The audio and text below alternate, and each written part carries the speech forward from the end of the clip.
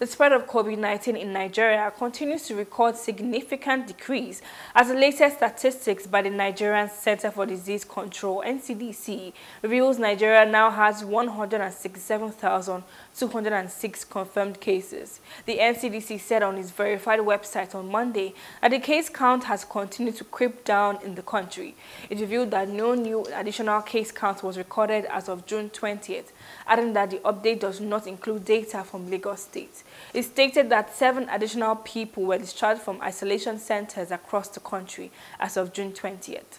The NCDC noted that the country also reported zero new deaths linked to the disease in the past 24 hours. Meanwhile, the agency urged Nigerians to adhere to all non-pharmaceutical preventive measures of COVID-19 to curb the spread in Nigeria.